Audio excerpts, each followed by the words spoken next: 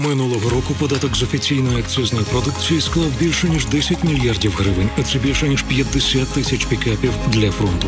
Наші податки, наш захист. Далі з нами на зв'язку Андрій Демченко, речник Державної прикордонної служби України. Пане Андрію, вітаємо вас. Вітаю студія. Пане Андрію, можливо, є якась свіжа інформація з приводу того, що зараз відбувається, е, скажімо, на українсько-білоруському кордоні.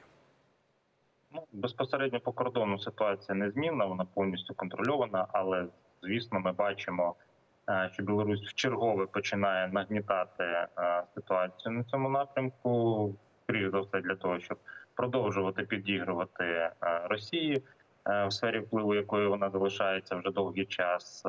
Бачимо знову ж таки звинувачення в бік України. Це неодноразово робилося Лукашенком і і загалом Білоруссю протягом всієї цієї повномасштабної війни.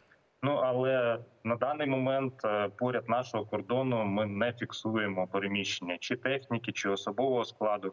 Скоріше за все, е, в рамках цього інформаційного впливу е, Білорусь буде вимушена робити і фото, відеоматеріали, можливо, якісь частини і.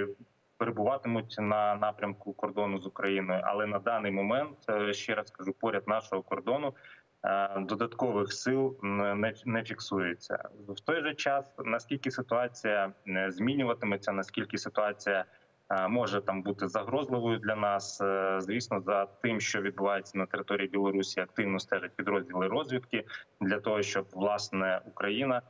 Мала можливість вчасно реагувати на всі ті виклики, які перед нами стоять, в тому числі і на цьому напрямку. Бо ніколи кордон з Білорусі для нас він не був другорядним.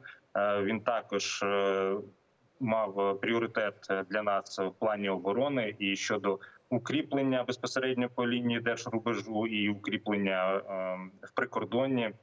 В інженерно-фортифікаційному відношенні, бо добре пам'ятаємо 24 лютого, і власне Е, протягом всього цього часу відстежуємо е, риторику і поведінку Білорусі по відношенню до нашої країни. Пане Андрію, у нас є ще півтори хвилини. Чи не могли би ви нас ввести в курс справи, що стосується наших західних е, кордонів? Що там відбувається зараз? Ну загалом західний кордон і кордон з Молдовою він на літній період характеризується е, досить високим пасажиропотоком, який зараз впливається в окремі дні на виїзд з України, в певні дні на в'їзд в Україну після того, коли люди вже побували за кордоном. Також зараз повертаються е, додому. Е, в вихідні дні пасажиропотік продовжує триматися десь на рівні 140 тисяч осіб в обох напрямках. Ну і власне на жаль, також не припиняються і спроби незаконного перетину кордону, більшість з яких ми фіксуємо і упереджуємо по е, зеленій ділянці кордону, тобто поза межами пунктів пропуску. Але порушники також намагаються незаконно перетнути кордон і по пунктам пропуску, тобто де можна легально перетнути кордон, але там вони використовують е, підробні документи в своїй більшості. Е, якщо говорити знову ж таки про зелену ділянку кордону, то незмінним е, незмінними напрямками, де найбільше затримуються порушники, це кордон з Молдовою та кордон з Румунією.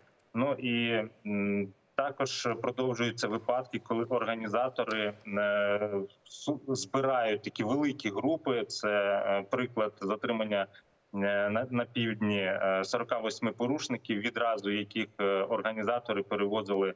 Е, Камазом, е, загрузивши до е, кузова цього транспортного засобу відразу 48 порушників. Але вони були затримані. Це спільна робота як прикордонників, так і інших правоохоронних органів в рамках кримінального провадження за такі дії організаторів та посібників. За що ми знову і знову дякуємо вам і е, вашим побратимам. Пане Андрію, дуже дякуємо за відповіді. Андрій Демченко, речник Державної прикордонної служби України. Ще на один аспект зараз звернемо увагу.